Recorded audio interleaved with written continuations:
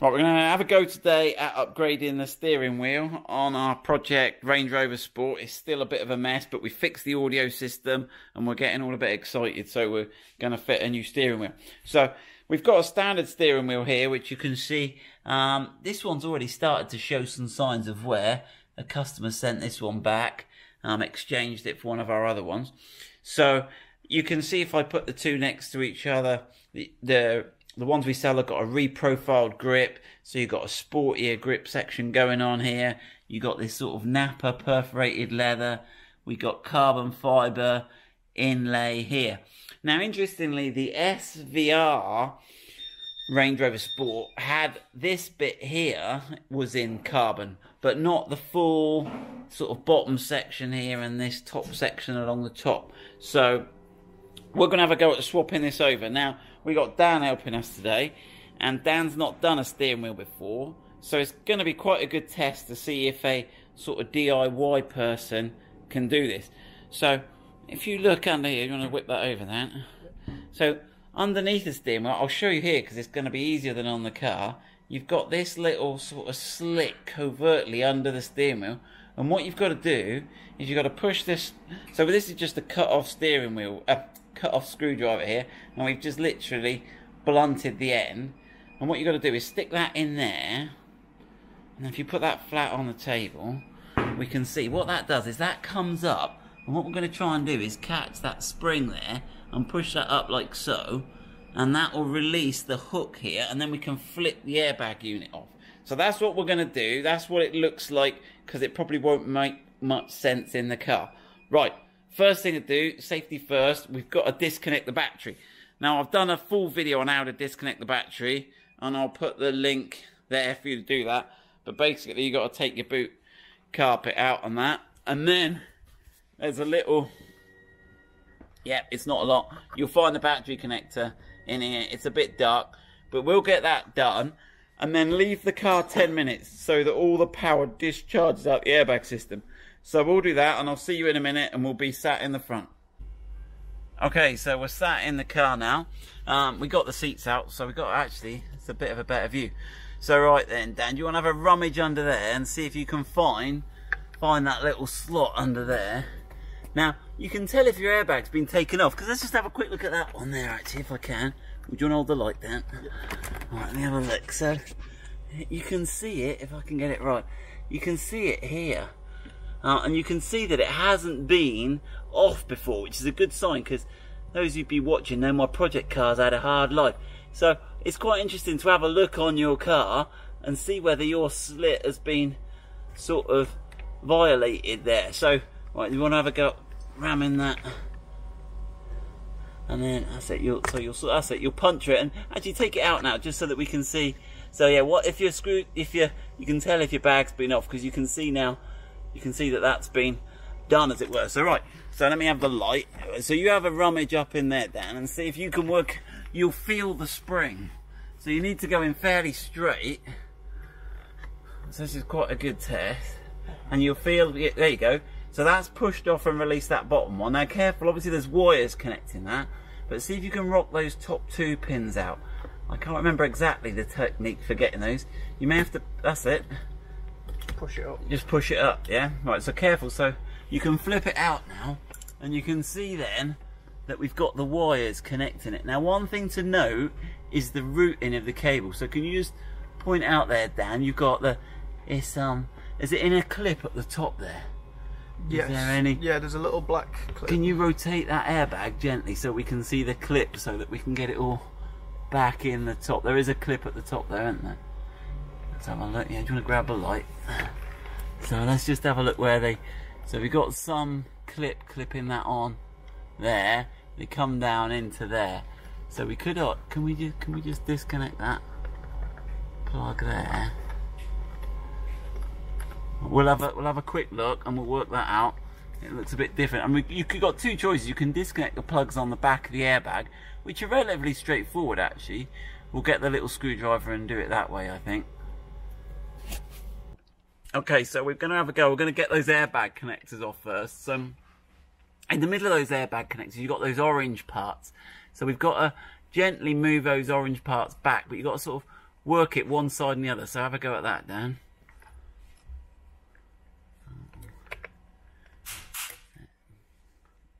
You want to get your fingernails in there, but they're quite hard with your fingernails. They're, you normally got to get some sort of leverage in there, but you're trying to hold the airbag with your other hand.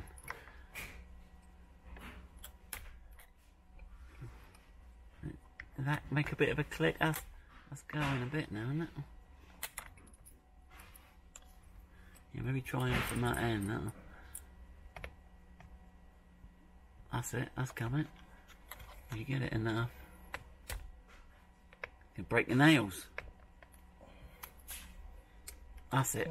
Right, so then and then you should be able to pull that off then once you've got that middle bit out. Pull the pull on the main connector body now. Yep, so that's off. Now notice that the connector body's blue and the inside of the airbag where it plugs in is blue.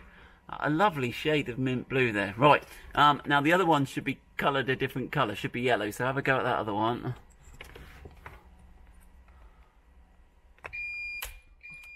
That's come out. And then pull that. And there you go. See how that's... I don't know if I can get that in the camera yet. So you've got yellow and blue plugs and yellow and blue bits on the airbag, so you can't get that wrong. Right, then we've just got to unhook those wires. It's important to get those back um, when you... There's a little... There you go. So that just unhooked out of that little hook there. And that's that down. Right, then we've got a second connector at the bottom here. Now, that's held in by a little metal clip. So yeah, push that little metal clip, that and then push that back and that and that releases the the connector there. And then that's just a question have you got enough hands to give that a good pull apart now?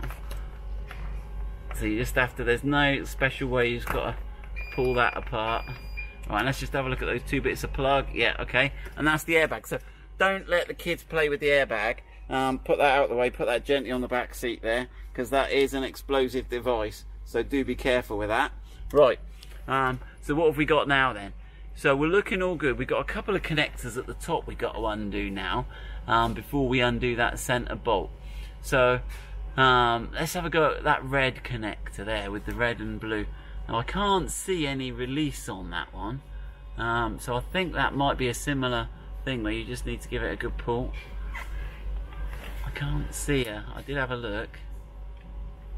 Well, we might have to have a second investigate. Right, we'll have a little investigate on that. Right, so I think we've worked it out. So yes, you want to give that top red one. We can't see a release. It looks like you just give it a fierce pull there. I can't see any release or trick mechanism. You just need to give him a sharp pull. Right, now the next thin one, there's a little tab on the top. Can you see the little tab at the top there, Dan? Yeah. And then if you pull that out, and we, will have to show people that. Can, can you spin the connector around? And then there's a little tab so emulate pressing that little bit at the top. And there if you press that that releases that and that one comes out. Now that should be all we need to do. Um, those wires will free back through. So we'll go and get a move that wire. Let's have a look. What we've got there? A big a big Torx fitting on the middle there. Um, so we'll go and get the Torx fitting and we'll let you know what that is. I think it's a Torx T50 and we'll have a go at undoing the undoing the nut and getting that off Right, we've got a Torx T50 bit and we're going to have a go at undoing the steering wheel. So we've got the steering locks clicked in, so that'll react some of the force. So have a go with that Dan, see if you can...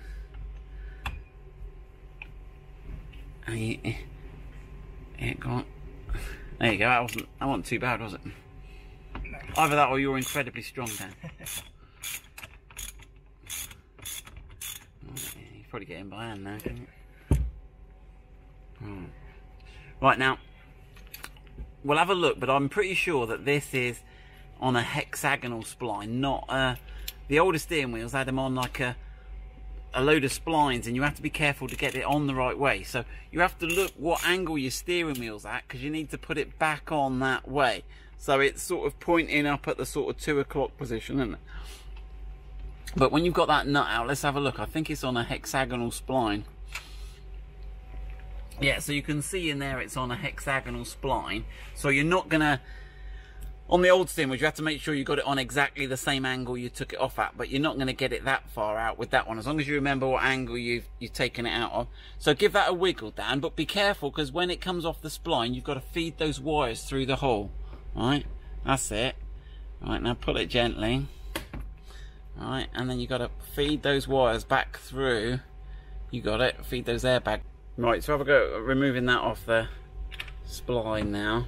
And then feed those airbag wires through there gently. Not damaging them. Right, and there we go. So that's the steering wheel off now. So we're going to have a look at that on the bench because we've got to swap the switch packs over and the chrome trim over. And that's the clock spring. Now, can you just demonstrate the clock spring, how it turns there? Those Right, but don't turn it um, don't go spinning that round and round because it only goes sort of four ways clockwise and four ways anti-clockwise. So leave it roughly where it was. And obviously when you put it back on, you've got to make sure those grey pegs there line up with the holes in the back of the steering. Let's have a look at the back. And it's got to line up with those. You point those out. Oh, yeah. Line up with those. So when you get it back on, make sure you line that up. And don't play with that clock spring there. Right. So let's go out back to the table and have a go at swapping the bits over on the steering wheel. Right, so we've got the steering wheel out, and what we've got to take off it is we've got to take this chrome trim, because your new steering may or may not have that chrome trim, but it's interesting to know how to do it. And we've got to take off the switch packs, and also the paddle shift. So if you just flip it over so we can see the back of the paddle shifts there, Dan. So yeah, at the moment we've got the back paddle shifts, but we're going to have a little bit of an upgrade while we're here, and we're going to go to these silver paddle shifts, which is quite an easy upgrade. And we'll do another video on the different types of paddle shifts, and how to swap the paddle shifts because you don't have to remove the steering wheel to do the paddle shifts so they're quite an easy upgrade. But we'll do that we'll, we'll otherwise we'll make this video too long. So right you want to whip that little chrome trim out there Dan? So th these chrome trims are literally there's no fixings they're just sort of jammed in. So if you work it out from the work it out work it from the bottom and you can sort of get under there and it's just jammed in the rubber. And if you have a look it's got these little ledges here and it goes round the side and this little ledge on the top here. And that just digs into the the rubber in the side of the steering wheel. So that's quite easy. Right you want to flip that steering wheel over and then remove those paddle shifts. So on the back here you've got some little Torx screws in here. I think it's a Torx T15 but don't hold me to it because it's not written. So you've got a little screw. Let's have a, we always like to look at the little screws down. So when we're putting it back together, we know what they're. So that's a little, not, sort of quite a coarse thread little screw, that one. Yep. And yeah, go on, might as well whip the other one out while we're there.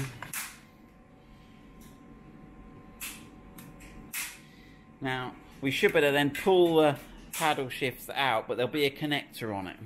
So start with this one, little, right, and then just have a little look. Right, and then I think there's a little bit you got to press on there, I'm not sure, at the back. Can you see that? Yeah. You might, uh, there's a little press bit there, yeah. So if we can have a look at that, yeah, there's a little bit there, you got to, alright. And that releases that one. Do the same on the other one. Yeah.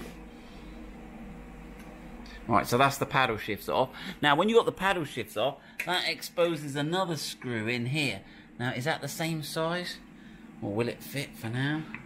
It'll fit. Yeah. Now, I think it's a different sort of screw. We'll have a look because these are coarse threaded screws, but these, these ones are actually proper threaded screws. These have got a much finer thread and much longer. So when you put it back together, make sure you get... So these nice threaded ones hold these switch packs on. So do the other one as well. Now these switch packs, they've got this big sort of, what am I call this? Sort of flanged end bit here. This big, and it jams in. Can you see that there down that big? So what they they sort of flip it over and they they're sort of jammed in. So you have to fight them off. Um, they're just gripped by the rubber. So just give it, go on, give it a fight. That's it. Right, yeah, so you got that, yeah. And you can leave the loom on for now, and then fight that other one off. So you're not, they're just really rammed in and that sort of bell end thing grips into the rubber. Right, and then you've got to so work out where the, so you, you've got to pull your connectors through. Careful where they come through your paddle shift connectors. There, you've got to sort of get the connector at the right angle to get it through the hole there. Yeah, that's him. Hey, we're good on that one. And then the main loom tucks in the back, the top here. So just have a quick look before you take it out, how that dresses in, and have a go then it just, that again should just be resting in there. And then you can take the whole switch pack assembly out. We've got everything there. Ah, right, hold on, there's some more. Right, now one thing to note, right, we've got a, we've got a connector there. Now we can push that out from the rear. And we've also got the heating plug here and the heating module here. Now it all nests in. So get that blue connector, the heating, that blue connector there. Can you get that out first? And that should just be a, an unplug. There's no clips on that. Once you've got it out, you should just be able to pull that apart. Yep, well done. And then, right, what else have we got? And then the module under here, again, he's just jammed in there. Ooh, if I can get the, let me get it around this way. So see if you can just wiggle that module out there, grab it by the wires, and he's just sort of in a little pocket there in the rubber. Should be just jammed in. Yep, okay, so that's that jammed in. Right, the last one we need to do. Now, I reckon if you flip the steering wheel over, that clear cable tie there, rather than cutting it, I think if you look from the back, you'll see where it comes through the the casting. Where can we see it? It's just in there. And I think if you ram that exactly, he's already on it. And I think, right, get that, you're on there at the moment. All right, if you do that then, give that a tap with your with your wrist, I reckon that will fire that through. Is that having it? Nope. No. Go on, let me have a go. You have the camera. No, I'm going to shame you now. Publicly shame you. Edit it out. Right, we've put it on the floor. We're going to fight him out. There we go. Right. So, there we go. So, there's the steering wheel. And there is, uh, so that is the steering wheel fully stripped down now. There's nothing on that. These, just for information, they're the wires that are going into the, the heating, that for the heated steering wheel. If you haven't got a heated steering wheel, you won't have that connector and that little control box there that controls the heated steering wheel. So that's that. We then need to build that up on to this steering wheel. Now this steering wheel's already come with the, the chrome insert, so we're fine there. Now, one thing I wanted to show you was that some of the latest steering wheels have different switch packs. Um, you can see how cool they are, and these are all backlit. But we haven't worked out how to fit these yet. Um, if you look, the connectors are actually got wires in different locations. Can you see that? Um, black, black, red. No, they haven't. They're the same, aren't they? We could try plugging those in. Now, on the L405, they're, so we might we might try that. We'll do that in another video though, see if we can upgrade that. But for now, we'll just put the the, same the same switch packs back on. Right, so we'll get on and do that. I don't think we need to video that. Um, it's a question of the same as reverse. We're going to push those in, dress that in, put the heating module in, connect the heated steering wheel, and go from there. So we've got the steering wheel all built up, and they always look a lot better when they're all built up. So you can see that now. We've got the carbon fibre, we've got the chrome insert in, we've got our perforated leather and our new grip around there. We've got all the wiring tuck in, we've got the heated connector, we push that cable tie back in. That's all ready to go back in. Now, just as a little teaser, wouldn't believe what has literally just turned up, and that's one of these latest new steering wheels. So this is the Alcantara soft touch, sort of furry, suede leather one off the new Range Rover with the the chrome rim, and these are the. It's got the new backlit um, switch packs on it. So we'll have a little play. We'll, we'll do in this video, we'll just get this one on, and then we'll do another video, see if we can get these chrome switch packs. The other thing you'll notice about this steering wheel is it's got these alloy billet paddle shifts, which are really nice. So these are actually machined from aluminium. They're really nice. But that's we'll do the paddle shift video another time. Right. So now we've got to get this one back on. So do you want to grab that down and go around the other side and let's see if we can get this back on the car. So here we go, back inside the car. So we've obviously got to make sure we line up our clock spring there. Um, so you've got to feed those wires through for the the airbag. And then you've got to line those two pegs up, haven't you? And when you line those pegs up, it should line that central connector up. That's what it's on at the sort of two o'clock position. Yeah, they see those grey pegs that come through. That looks alright, doesn't it? Mm-hmm. Yeah. Well, there's your there's your bolt. And get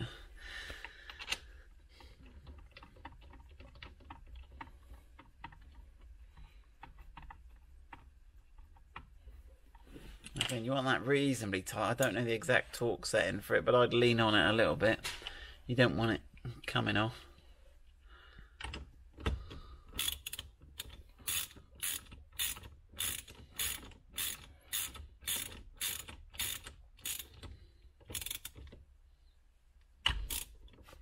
Let me react that a bit. That'll do. Right, we're all happy with that. Right, so now we can plug those those wires in. Um, yeah, so that one should be lying there ready, and it should click in. That's it. Cool. There's that little wire in there. That one. Yeah, that's it. You got it. Yeah. that's the red wire. So what wires have we got left now then? So we've got those. Now when we, so we've got to grab the airbag. Now what's that other one? Yeah, they both go on there. Yeah. So we've got the, the airbag connector and the sort of horn connector. So if we grab that airbag out the back.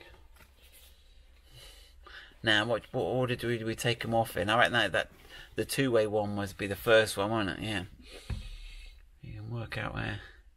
Are you going to go for those, eh? Might be easy to get. How much length you got on that one there? You're better off trying to get that one on.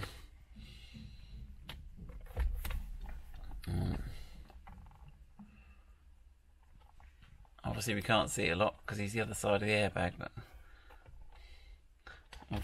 flip that round. That one going on all right? Yep. And is there any routing for that? Okay, it goes on that metal clip. Should we do that now or later? What do you reckon? Uh, do it now. Do it now. I just wonder if it give ourselves more room to move, but yeah. Alright, and then have a go at those airbag ones. So I think you want to push on the body, not on that middle connector, and then get the body in, then push the orange connector home. They go in, yeah, that's right. They're colour coded, so. Right, and you got to route that cable into that little hook, haven't you? Do you remember it went in that little oh, hook oh, there? So I guess it's where that bit of tape is. That tape is there to... And that should stop it getting in the way as we put it all back together.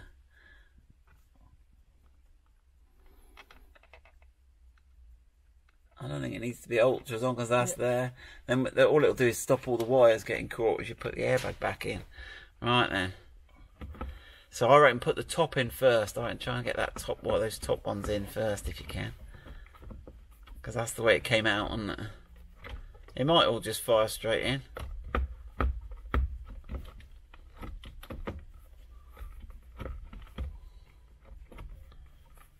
It's fighting us a little bit, is it? Um. Haven't got any anything in the way of those sort of spears, have we? No cables in the way. That's it. There you go. Yep, so it just clicks in place. So there we go. That's the Range Rover Sport steering wheel upgrade finished. So one thing we might not have pointed out earlier is the red stitch in there, which is quite nice. So we'll, we'll get those for sale on the website. Um, and we'll just check that all works before we mess about and do some more videos with the switch packs and stuff. So there we go. Good luck with that.